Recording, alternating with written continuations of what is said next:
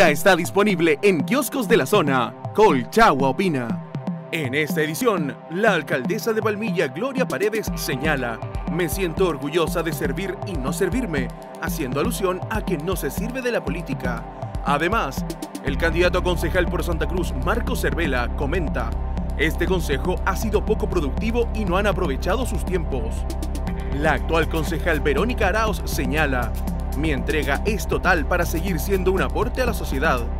Fernando San Martín Alexov, chef ejecutivo de Restaurant Santa Cruz, nos comenta acerca de la trilogía de carnes a la piedra volcánica.